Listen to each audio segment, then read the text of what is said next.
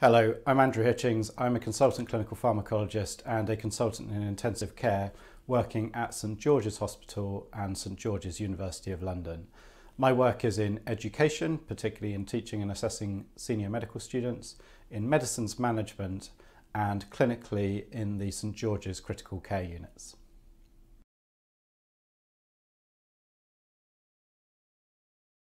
The COVID 19 pandemic has presented and continues to present extraordinary challenges in all areas of our work. I lead the final year examinations for the medicine programme at St George's, and ordinarily we would have been running our final clinical exams in April just at the time the pandemic was approaching its first peak. We needed to develop at great speed alternative assessment and decision making processes that would allow us still to make confident decisions on which students should graduate and enter the workforce, but in the absence of a traditional clinical examination. We're now also in the process of converting almost all of our face-to-face teaching into online content. Alongside academic work, I've been continuing to practice as a consultant in the intensive care units, looking after patients with critical illness, including due to COVID-19 during the first surge. Medicines management work has also not ceased. There's been an explosion of new protocols to deal with the many facets of the COVID 19 illness and, of course, its impact on other conditions and pathways. So, we have needed to develop processes to oversee these, And this has included establishing a clinical reference group to review them quickly through online and virtual meetings.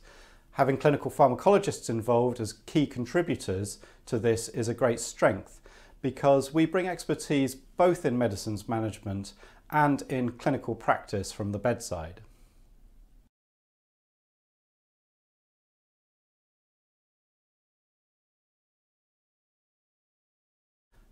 I think all of us in healthcare, not just in clinical pharmacology, have learnt about our adaptability and our capacity to manage uncertainty. A strength for clinical pharmacologists is that we tend to have expertise in diverse areas, and this pandemic has shown us how we can draw on these different strengths to respond to demands in creative ways, whether that's in our clinical practice at the bedside, our management of operational issues, for example, in the use of medicines, and in other areas of work such as education. I, for example, have been able to draw on the clinical approaches of uh, risk assessment and decision making in uncertainty to inform the development of assessment processes in education. We should also acknowledge that this situation really has tested our resilience, and I, for one, am comfortable to admit that I've found the strains of being pulled in so many directions to be extremely demanding.